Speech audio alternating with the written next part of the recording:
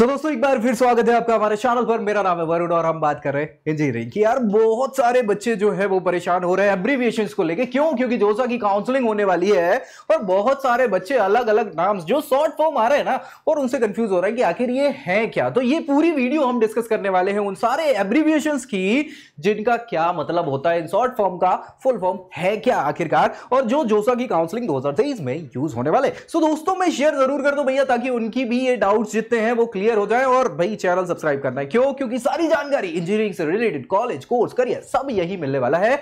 और दूसरी चीज़, नीचे डिस्क्रिप्शन बॉक्स में लिंक्स जो हैं, आ गई हैं, काय काय की आई हैं, एक तो प्रोडिक्टर की आई है। मतलब आपकी रैंक पे क्या ऑप्शंस आपको मिल सकते हैं, उसको आप चेक कर सकते हैं प्रोडिक्टर के थ्रू इसके अलावा आपके पास मेंटोरशिप का भी ऑप्शन है, जिसमें एक मेंटर होगा जो आपको गाइड कर देगा एक अच्छे इंस्टीट्यूशन के लिए क्या क्या ऑप्शन हो सकते हैं, वो। और फाइनली बहुत सारे कोर्सेज की लिंक भी आपको यहाँ मिल जाएगी काउंसलिंग कोर्सेज की। सो इन सबको आपको डिस्क्रिप्शन बॉक्स में चेक कर लेना है और अपने प्रोफ़ाइल एनालिसिस फॉर्म को फिल करना, नहीं बोलना है, ठीक है? चलो देख ले क्या क्या लिस्ट ऑफ़ एब्रीविएशन है जोसा काउंसलिंग में क्या क्या यहाँ होने वाला है। तो भाई, सबसे पहले मैं आपको बता दूँ, सबसे इंपॉर्टेंट ए आई आर ये मैं यहाँ पे हाँ लिख दे रहा हूँ। A I R A I R मतलब एयर इंडिया नहीं है। एयर है ऑल इंडिया रैंक ठीक है, और ये सबसे इंपॉर्टेंट है, क्यों? क्योंकि इसी ऑल इंडिया रैंकिंग कोटे पे ही आपको क्या करना है, बताना है। सीआरएल रैंक जो है, वो आपकी ऑल इंडिया लेवल की है, क्या है, कैसी है? तो ए आई आर यानी ऑल इंडिया रैंक जहाँ भी ए आई आर मिले, उसका यही मतलब यहाँ जो सा काउंसलिंग में होने वाला। उसके अलावा सीबीएसई ये सीबीएसई क्या है? बोर्ड है भैया central board of secondary education CBSE हमने ट्वेल्थ क्लास जो है, वो पास करी हुई है। बहुत सारे बच्चे हो सकते हैं जो सीबीएसई बोर्ड के हो सकते हैं, कुछ आईसीएससी के हो सकते हैं, कुछ स्टेट बोर्ड्स के हो सकते हैं। लेकिन सीबीएसई जहाँ लिखा है मतलब वो आपका क्या है central board of secondary education यहाँ पे आपका सीओबीएसई भी है। सीबीएसई नहीं सीओबीएसई ये क्या है council of boards of school education ठीक है? ये इंपॉर्टेंट हो जाता है सीआरएल ये सबसे इंपॉर्टेंट पूरी की पूरी काउंसिलिंग में सीआरएल सीआरएल सीआरएल आपको मिलने वाला है, ये कंट्रोल नहीं है। ये क्या है? ये कॉमन रैंक लिस्ट है। क्या है आपकी? कॉमन रैंक लिस्ट मतलब कि इतने बच्चों ने पार्टिसिपेट किया था और उसमें आपका इतना नंबर है, इतने नंबर की रैंकिंग है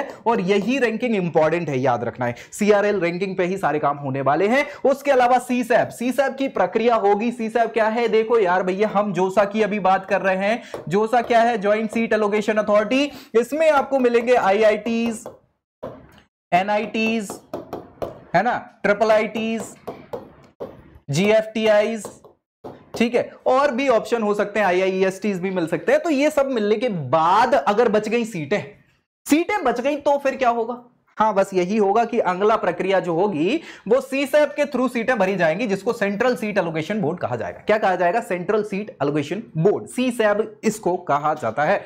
जोसा के बाद ये पूरा शेड्यूल आएगा, ठीक है? अभी इसकी कोई दिक्कत है नहीं, लेकिन फिर भी पता होना चाहिए। डीएस ये इंपॉर्टेंट है क्योंकि डिफेंस हाँ भैया डिफेंस वाले बच्चे जितने हैं या उनसे रिलेटेड उनके रिलेटेड डिफेंस सर्विसेज़ ये एब्रीविएशन है डीएस का और इससे ये कोटा लगता है डिफेंस सर्विसेज़ का। इसमें कुछ सीट्स रिज़र्व होती हैं। सो ये इंपॉर्टेंट हो जाएगा। ईडब्ल्यू e तो आपको पता ही होगा, है ना? ईडब्ल्यू e यानी इकोनॉमिक वीकर सेक्शन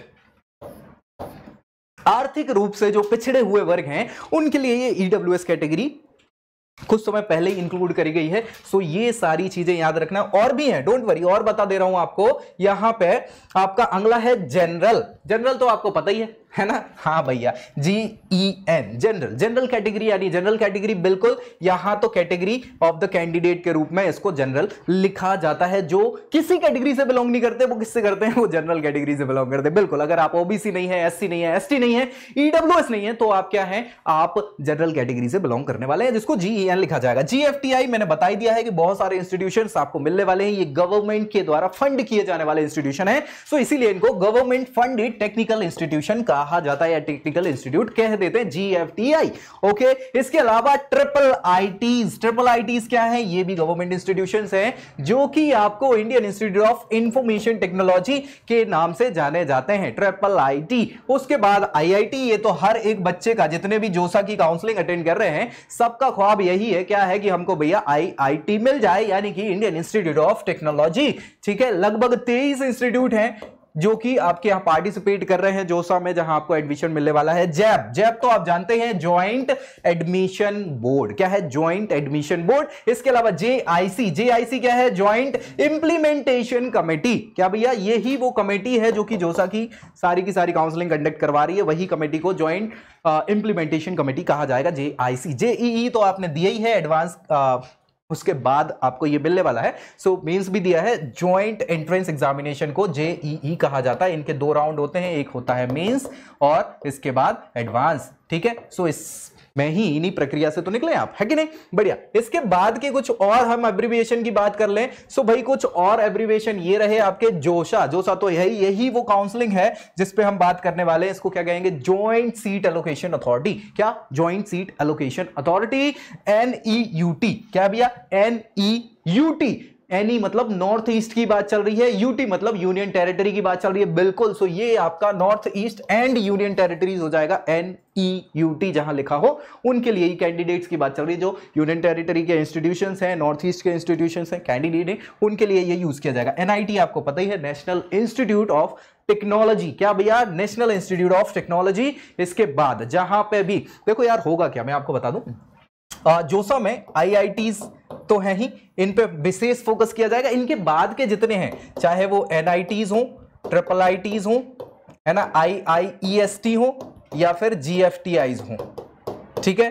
इन सबको ही क्या कहा जाएगा? N I T plus system लिखा है ना एनआईटी प्लस सिस्टम ये जो एब्रीवेशन है, ये किसके लिए है? एनआईटी आईआईएसटी ट्रिपल आईटीज और अदर जीएफटीआईज इन सबको ये कहा जाएगा। ओबीसी एनसीएल आपको पता ही है ओबीसी एक कैटेगरी है और इस कैटेगरी में अगर कुछ लोग हैं जिनकी एनुअल इनकम कम होती है, उसको क्या बोलते हैं? Non creamy layer NCL non creamy layer so ये कैटेगरी ओपन सब कैटेगरी भी है। क्या है? अदर बैकवर्ड क्लासेस में नॉन क्रीमी लेयर की कैटेगरी ठीक है? ओबीसी एनसीएल ये पूछा जाता है और कई बार कंफ्यूज हो जाते हैं, लोग भी कंफ्यूज हो जाते हैं तो इसीलिए ये हमें एब्रीवेशन पता होना चाहिए क्योंकि इनका हमें बार बार इस्तेमाल करना है या ये बार बार आने वाले जोसा की काउंसलिंग में इनके नाम। फिर आगे की बात कर ले तो भैया यहाँ पे ओसीआई और पीआईओ का नाम सुना होगा। ये मुझे लगता है ये बड़े बड़े लोग ही सुनते हैं। क्यों क्यों सुनते हैं? क्योंकि ये वो लोग हैं जो कभी भारत के निवासी थे, अभी निकल लिए हाँ। भैया, इनको बोलते हैं ओसीआई यानी ओवरसीज सिटीजन ऑफ़ इंडिया क्या बोलते हैं? Overseas citizen of India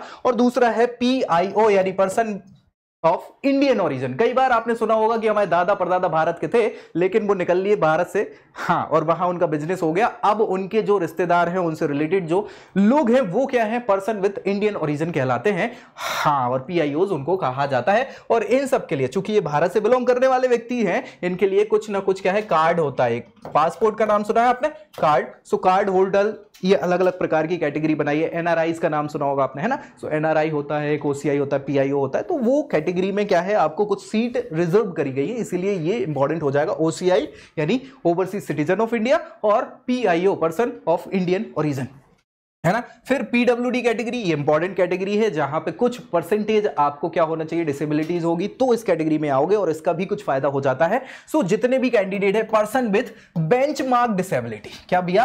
bench mark disability बहुत सारी अलग अलग डिसेबिलिटीज हो सकती है चलने फिरने से लेकर सुनने बोलने लिखने सब की बहुत सारी अलग अलग सो इन डिसेबिलिटीज के सर्टिफिकेशंस होते हैं और उसके बेसिस पे आपको कुछ हाँ यहाँ फ़ायदे हो जाते हैं पीडब्ल्यूडी कैटेगरी में। फिर एससी को आप सभी जानते ही हैं, वे सभी के सभी स्केड्यूल कास्ट जिनकी हाँ कास्ट का शेड्यूल में वर्णन है। कौन सी शेड्यूल में वर्णन है? हाँ ये तो जाना नहीं है कॉन्स्टिट्यूशन के अंदर आ जाते हैं। तो शेड्यूल कास्ट और फिर एक है schedule tribe S T category so ये कैटेगरीज हो जाएँगी आपकी, जो कि यहाँ पूछी जाएगी और इनको फ़ायदा हो जाता है इंपॉर्टेंट है ये सारी चीज़ें जो आपको यहाँ पे दिमाग में याद से रखनी है और ये सारे के सारे एब्रीविएशन यहाँ जो सा काउंसलिंग में यूज़ होने वाले हैं तो भैया इनको आपको पता होना चाहिए ताकि गलतियाँ हम ना करें और दोस्तों को भी इसको शेयर कर देना है ताकि उन्हें भी पता चल जाए कि भाई आखिर ये एब्रीविएशन का क्या मतलब है, ताकि बार बार हमें परेशानी ना हो। और बाकी ये तो हम हैं ही आपके लिए, सारी जानकारी देने करने के लिए। इसके अलावा भी बहुत सारी चीज़ें हैं, नीचे डिस्क्रिप्शन बॉक्स में आप जाएँ, आपको प्रोडिक्टर की लिंक मिल जाएगी, जहाँ आपकी रैंकिंग में क्या ऑप्शंस आप चूज़ कर सकते हैं, क्या मिल सकते हैं, ये जानकारी हो जाएगी। इसके अलावा मेंटोरशिप के प्रोग्राम्स भी हैं, जहाँ एक मेंटोर होगा जो आपको गाइड करेगा एक अच्छे इंस्टीट्यूशन के लिए, और साथ ही साथ बहुत सारे काउंसलिंग कोर्सेज भी आपको वहाँ अवेलेबल है। सो जल्दी जाइए जल्दी जाइए, पहले आइए, पहले पाइए वाला काम है। और भैया, बस इसके साथ ही हम यहाँ वीडियो समाप्त करेंगे। अगली वीडियो में अगली जानकारी के साथ मिलेंगे, तब तक के लिए I hope you like this video. For more such videos, keep watching our channel. And do not forget to like, share, and subscribe.